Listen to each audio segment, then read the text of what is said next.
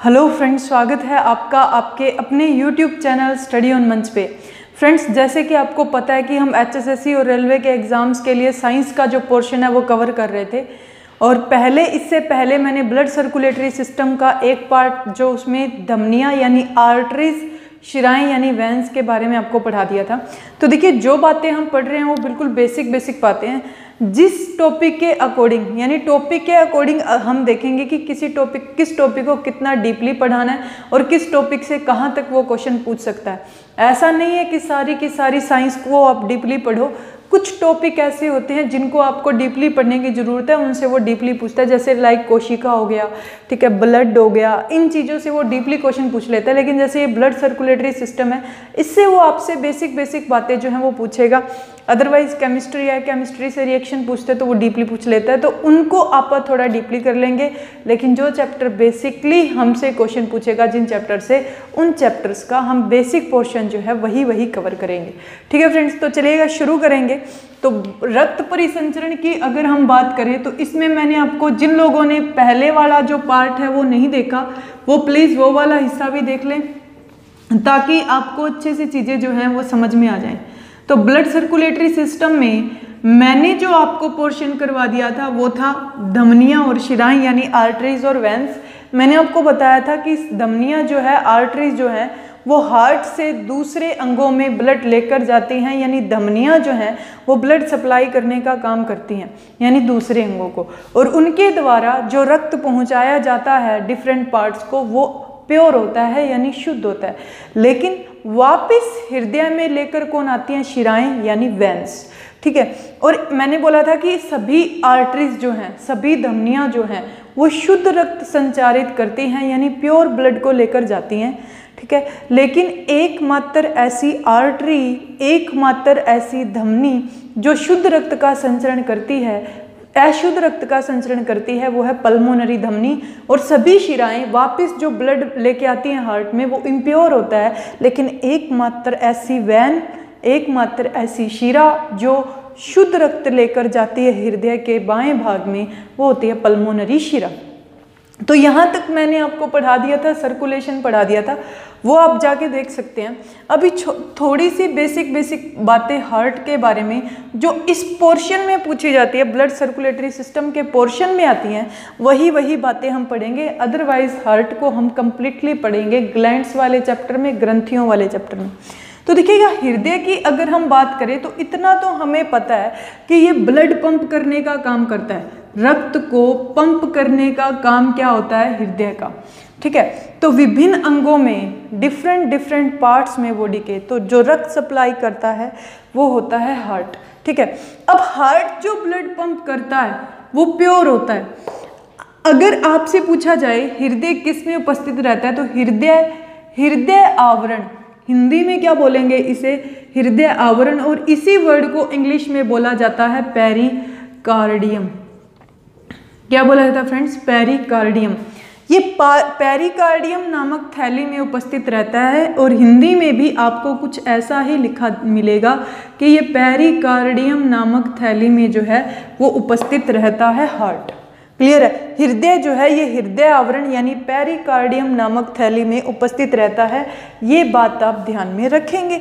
उसके बाद सुनो कि ये इसको अगर आपसे पूछा जाए कि हृदय को बाहरी आघातों से कौन बचाता है, कि हार्ट को जो बाहरी चोट होती है, उनसे कौन बचाता है तो कौन बचाता है? पेरिकार्डियम, जिस थैली में उपस्थित रहता है।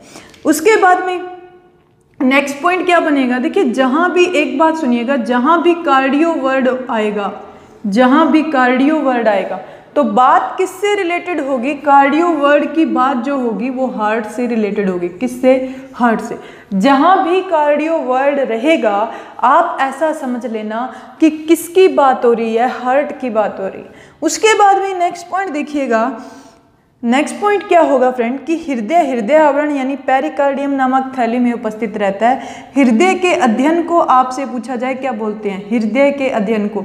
स्टडी ऑफ़ हार्ट हृदय के अध्ययन को बोला जाता है फ्रेंड्स कार्डियोलॉजी यानी यहाँ भी देखिएगा, आपको क्या वर्ड देखने को मिला? कार्डियो उसी तरीके से आपको बोला जाए कि हृदय के हृदय के, हृदय की जाँच करने वाला उपकरण, हृदय की जाँच करने वाला उपकरण है, कार्डियोमीटर। उसी तरीके से आपसे पूछ लिया जाए कि हृदय की गति को ग्राफ पर अभिलेखित करने वाला उपकरण, हृदय की गति को ग्राफ पर अभिलेखित करने वाला उपकरण कौन सा है, ये आपसे पूछ लिया जाए। तो आप क्या बताएँगे कि हृदय की गति को ग्राफ पर अभिलेखित करने वाला जो उपकरण है, उसे हम बोलते हैं ईसीजी जिसकी फुल फॉर्म होती है इलेक्ट्रो कार्डियोग्राफी। इलेक्ट्रोकार्डियोग्राफी। यानी हृदय की गति को ग्राफ पर अभिलेखित करने वाला जो उपकरण है, उसे हम बोलेंगे ईसीजी इलेक्ट्रोकार्डियोग्राफी क्या बोला जाएगा फ्रेंड्स इलेक्ट्रोकार्डियोग्राफी अब देखिए, ये कुछ इस तरीके से दिखता है मतलब एक टीवी की तरह होता है। ये जो टीवी है, ये किस तरीके से काम करता है कि अगर इसमें इस तरीके से लाइनें चल रही हैं तो मतलब है कि अभी जो है, साँसें चल रही हैं। लेकिन अगर ये लाइनें जो हैं, इस तरीके से सीधी हो जाएँ तो मतलब इंसान की जो धड़कन है, वो रुक चुकी है। ठीक है? तो ये तो है ईसीजी उसके बाद में देखिएगा नेक्स्ट पॉइंट हृदय का अगर आपसे पूछा जाए वज़न, हृदय का वज़न कितना होता है? क्या पूछा जाए आपसे? हृदय का वज़न पूछा जाए, कितना होता है? तो हार्ट का वज़न होता है 300 ग्राम। कितना होता है? 300 ग्राम। ठीक है, हृदय का वज़न जो होता है, वो लगभग होता है 300 ग्राम। होप सो आपको इतनी बातें समझ में आई होंगी। उसके बाद में फ्रेंड्स मैं आपको एक बात और बता दूँ कि अगर आप जीके के क्वेश्चंस की या कुछ इस तरीके से पॉलिटिकल साइंस के क्वेश्चन की और साइंस के क्वेश्चंस की आप देखना चाहते हो 10-10 मिनट की वीडियो तो मैंने अन अकेडमी पर भी वीडियो डाल रखी हैं, ठीक है? उसका लिंक आपको मिल जाएगा। वो सिर्फ़ सात सात आठ आठ मिनट और दस दस मिनट की वीडियो है, जिसमें प्रैक्टिस क्वेश्चन प्रीवियस ईयर के करवा रखे हैं, पॉलिटिकल साइंस के भी। वहाँ जाकर आप उन वीडियोस को देख सकते हो। बिल्कुल फ्री हैं वो वीडियोस। आप डिस्क्रिप्शन में आपको लिंक मिल जाएगा उन वीडियोस का। वहाँ से आप जाकर उनको देख सकते हैं। बहुत आसान तरीके से मैंने करवा रखा है, वहाँ पे एक्सप्लेन करके। तो वो आप देखिएगा, उसका लिंक आपको डिस्क्रिप्शन में हम दे देंगे, ठीक है? तो यहाँ पे देखिएगा नेक्स्ट पॉइंट देखो आप लोग, कि अगर आपसे पूछ लिया जाए कि हृदय की धड़कन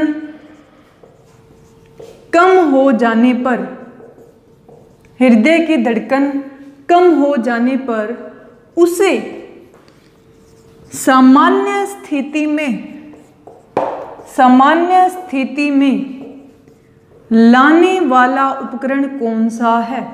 हृदय की धड़कन कम हो जाने पर उसे सामान्य स्थिति में लाने वाला उपकरण कौन सा है?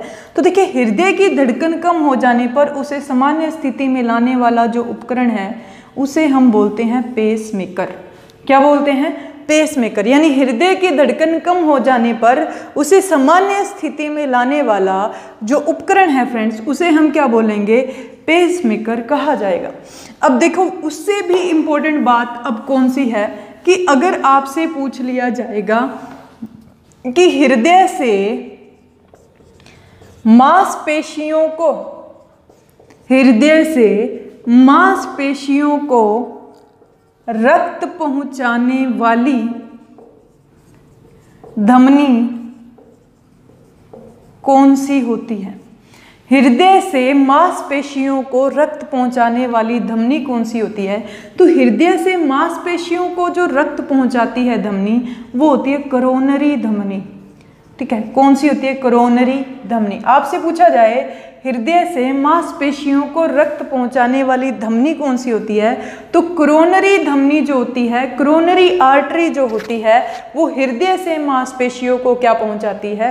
रक्त पहुंचाती अब इसमें किसी भी प्रकार की रुकावट होने पर, अगर इसमें किसी भी प्रकार की रुकावट होती है तो इंसान को हार्ट अटैक का सामना करना पड़ सकता है, यानी हृदय घात या हार्ट अटैक जिसको बोलते हैं इंग्लिश में, उसका सामना करना पड़ सकता है किसमें रुकावट होने पर? कोरोनरी धमनी में। उसके बाद में नेक्स्ट पॉइंट देखिएगा। अब ये बात तो आपको पता ही है कि सामान्य मनुष्य की जो सामान्य मनुष्य का हृदय एक मिनट में कितनी बार धड़कता है तो हम बोलते हैं कि बहत्तर बार। ये तो सबको पता है।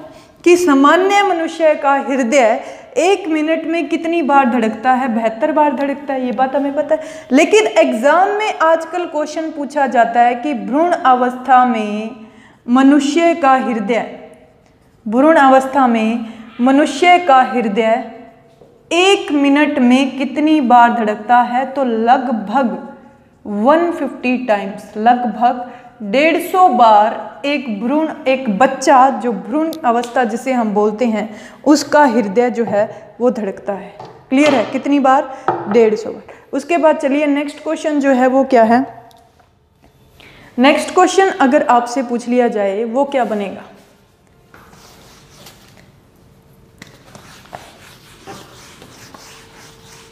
अन अकेडमी वाला ज़रूर आप देख लेना। काफ़ी इम्पोर्टेंट वीडियोस मैंने वहाँ पे डाल रखी हैं।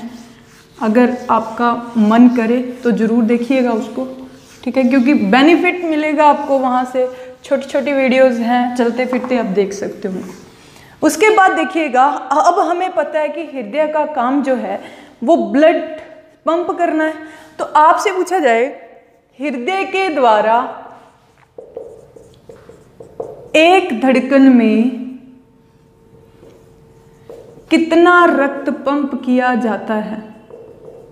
हृदय के द्वारा एक धड़कन में कितना रक्त पंप किया जाता है? तो आप क्या बताएँगे कि हृदय के द्वारा एक धड़कन में 70 मिलीलीटर रक्त को पंप किया जाता है? हृदय के द्वारा एक धड़कन में कितना रक्त पंप किया जाता है? 70 मिलीलीटर। अब देखो, हम बोलते हैं कि मतलब किसी भी काम को करने के लिए जो हम सारा दोष ठहराते हैं, वो किसको ठहराते हैं? हार्ट को। लेकिन जितना भी कंट्रोल होता है हमारी बॉडी का, वो किसके पास होता है? दिमाग के पास। हालाँकि जो हार्ट खुद पावरफुल है, लेकिन इसका कंट्रोल भी किसके पास होता है? दिमाग के पास होता है। तो आपसे पूछा जाए कि मस्तिष्क का कौन सा भाग? मस्तिष्क का कौन सा भाग हृदय की धड़कनों को, हृदय की धड़कनों को नियंत्रित करता है? मस्तिष्क का कौन सा भाग हृदय की धड़कनों को नियंत्रित करता है? तो मस्तिष्क का कौन सा भाग करता है? जो मस्तिष्क का सबसे पीछे का भाग होता है, मेडुला ओब्लोगेटा। ये मस्तिष्क का सबसे पीछे का भाग होता है, मेडुला ओब्लोगेटा, जो मस्तिष्क के सभी भागों को किससे जोड़ता है? मेरु रज्जू से जोड़ता है, ठीक है? ठीक है, अब यहाँ पे देखिए, मस्तिष्क का कौन सा भाग? नहीं, ये वाला भाग नहीं जोड़ता, मेरु रज्जु ही यही बनता है, ये पीछे वाला जो भाग है ना, मेडुला अब्लोगेटा यही बाद में जाकर क्या बन जाता है? मेरु रज्जू बन जाता है, ठीक है? तो मस्तिष्क का कौन सा भाग हृदय की धड़कनों को नियंत्रित करता है? मेडुला ओब्लोगेटा जो है वो नियंत्रित करता है। उसके बाद में देखिएगा, ऐसे कुछ हार्मोन भी है जिनका जिनकी वजह से हृदय की धड़कनों का नियंत्रित किया जा सकता है। कौन से कौन से हार्मोन है? एक तो है एड्रेनलिन। एड्रेनलिन, ये एड्रेनल ग्रंथि से स्त्रावित होता है। एड्रेनल इसे, ये इंग्लिश का वर्ड है, इसे हिंदी में अधिवृक भी कहा जाता है। क्या बोला जाता है? अधिवृक एड्रेनलिन यानी एड्रेनल ग्रंथि से क्या स्त्रावित होता है? एड्रेनलिन हार्मोन उसी तरीके से हमारे गले में एक ग्रंथि पाई जाती है थायराइड ग्रंथि। थायराइड ग्रंथि। इस थायराइड ग्रंथि को हिंदी में बोलते हैं अवटू ग्रंथि। क्या बोलते हैं? अवटू ग्रंथि, लेकिन पेपर में कुछ इस तरीके से लिखा आता है तो मैंने भी इसी तरीके से लिख दिया। थायराइड ग्रंथि से एक हार्मोन स्त्रावित होता है, जिसका नाम क्या होता है? थायोरिक्सिन एक ये थायोरिक्सिन हार्मोन और एक ये एड्रेनलिन हार्मोन। ये दोनों के दोनों स्वतंत्र रूप से हृदय की धड़कनों को नियंत्रित करते हैं। तो आपसे पूछा जाए कि किस हार्मोन के द्वारा हृदय की धड़कनों को नियंत्रित किया जाता है तो इन दोनों के नाम बता दोगे, एड्रेनलिन और थायरिक्सिन। तो चलिए आज के लिए इतना ही। थैंक यू फ्रेंड्स और उसके बाद में एक बात और बता दूँ। अन अकेडमी का लिंक डिस्क्रिप्शन में मिल जाएगा। वो वीडियोस आप छोटी छोटी वीडियोस हैं, उनको जाकर ज़रूर देखिएगा, आपको काफ़ी बेनिफिट मिलेगा उससे। उसके बाद में अन अकेडमी ऐप पर ही हम थोड़ा थोड़ा पोर्शन रीजनिंग और मैथ का भी शुरू कर देंगे बहुत जल्दी। तो आप बने रहिए अन अकेडमी पर भी फॉलो कर लीजिए, ताकि वहाँ से भी आपको बेनिफिट मिले। मैथ और जो है, आपने रेलवे के फॉर्म भी भरे होंगे, उसके लिए भी और एच के एग्ज़ाम्स के लिए भी। तो चलिएगा फ्रेंड्स आज के लिए इतना ही। अगर आपको वीडियो पसंद आई हो तो लाइक कर देना।